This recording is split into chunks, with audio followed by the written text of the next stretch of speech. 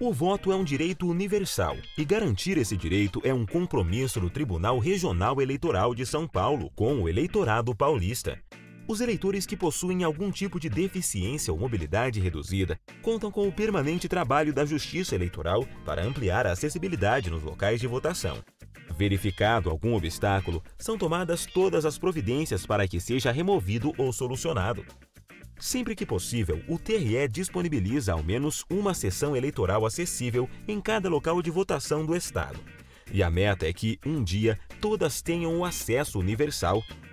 Há coordenadores de acessibilidade em todos os locais de votação do Estado de São Paulo, cuja função é vistoriar previamente esse local e buscar as adequações de acessibilidade necessárias, além de, no dia da votação, auxiliar os eleitores que demandem esse apoio.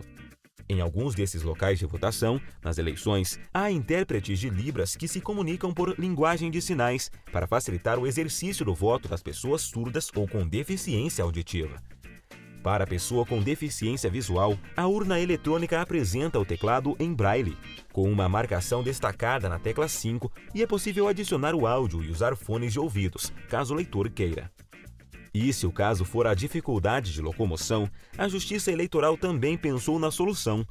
Todos os locais de votação são vistoriados previamente e todo o trajeto desde a entrada do prédio até a sessão com acessibilidade fica livre de obstáculos para que o eleitor possa votar sem maiores dificuldades.